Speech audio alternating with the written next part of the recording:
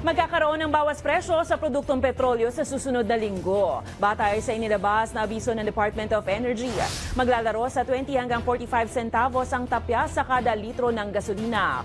Apat na po hanggang 60 sentimo naman sa kada litro ng diesel, habang 70 centavos hanggang halos piso naman sa kada litro ng kerosene. Paliwanag ng ahensya. Bunso dito ng paghupa sa tensyon sa pagitan ng Iran at Israel, gayon din sa pagtaas ng supply ng krudo sa Estados Unidos.